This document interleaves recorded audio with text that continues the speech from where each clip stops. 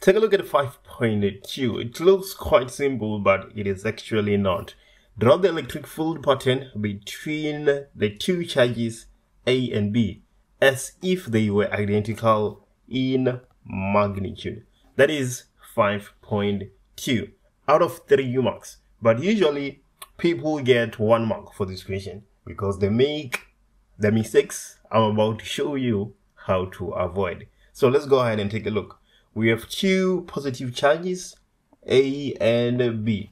We are about to draw the electric field pattern between the two charges as if they were identical in magnitude. So let me show you how that will look like. So first things first, we have A right here and here we have B. They are both positive. On a positive charge, the electric field lines, they point outward, right? Relative to the sphere itself. They point outwards. And then in a negative charge, that's where they point inward. So here we are expecting something like this. They are pointing outwards from the sphere. So let me just finish drawing these fold lines and I will show you the mistakes that a lot of people make. The mark allocation. Let's talk about the mark allocation. That is where people lose marks, okay? So one mark is for the correct direction of the field lines. So in a positive charge, the field lines are pointing away from the sphere. And then in a negative charge, they're pointing towards. So if your field lines are pointing away from the sphere, you have one mark. And then the second mark is for the shape of the electric field lines.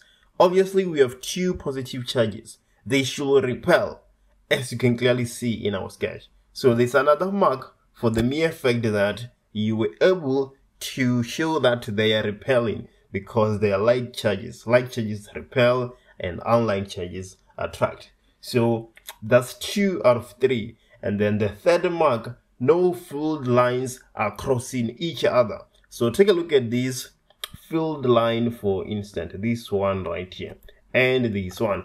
They're not touching. They're not crossing each other. So if they're crossing each other, you will lose a mark because of that. And another criteria we have, take a look at these fold lines. They don't go inside the spheres. If you have one fold line that goes inside the sphere, then you're gonna lose another mark. So you have to be aware of those things so that you can get all three marks. That is 5.2. Let's take a look at 5.3. Calculate the number of electrons that are added or removed to give a charge of plus 5 nanocoulombs. We have the charge, 5 nanocoulombs. We know the charge of an electron, 1.6 times 10 to the minus 19, and we are looking for the number of electrons. Which formula connects these three variables? Well, n is equals to the charge divided by the charge of an electron. Uh, well, other books will say that Q is equals to n multiplied by the charge of an electron, of which if you rearrange, you end up with n being equals to the charge divided by the charge of an electron.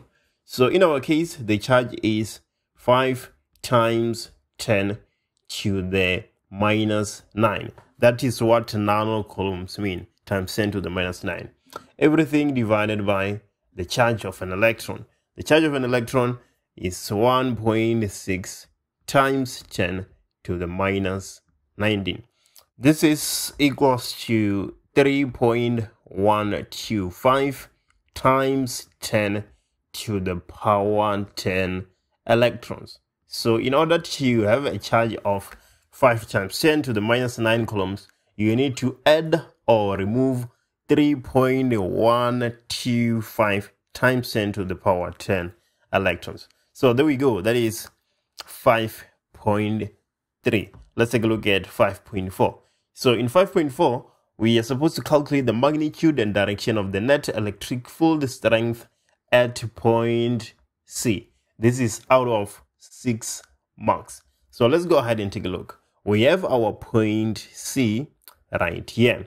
From A to C, it is 20 millimeters. And then from C to B, it's unknown, right? But take a look at this. From A to B is 80 meters. So C to B should be 60 meters, right? Uh, that should be easy to see if we just apply a bit of mathematics, right? X plus 20 is equals to 80. So X should be 60 millimeters. So we have the distance from A to C and the distance from C to B. So how do we then calculate the magnitude and direction of the net electric field strength at point C? We have to take point C as if we had a positive charge, right? So let's assume that at point C, we had a positive charge. Now let me show you something. Let's concentrate on A and C first. If we have a positive charge at C, A and C will be repelling each other. So we are going to have A pushing C to the east. So this is the electric field at C due to A. Now let's take a look at C and B. Now let's take a look at C and B.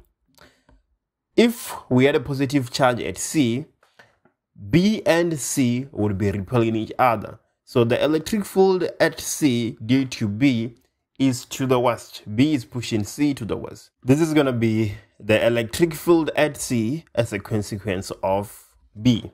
So now that we have this nice vector diagram, E net, the net electric field, will be equals to, if we take east as positive, then this will be the electric field at as a consequence of A minus the electric field as a consequence of B. That is how we answer this question. You must start with a diagram similar to this and then you will know what E net is going to be. So E net is equals to EA minus EB. But we know that the electric field is given by KQ divided by R squared. So we're going to use this formula to calculate EA and EB. Let's go ahead and do that. E net will be equals to K is a constant that is 9 times 10 to the power 9.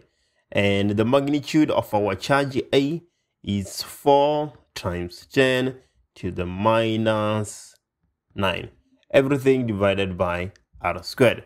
r is 20 millimeters and we use meters in physics and not millimeters. So let's go ahead and convert that to meters. We we do that by dividing with 1000. So we're to have 20 divided by 1000 squared. So that is the electric field at C due to the charge A minus the electric field due to the charge B.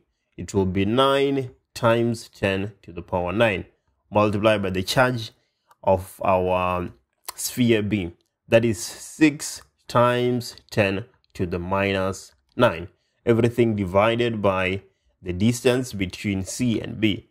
That is 60 millimeters divided by 1000 everything squared.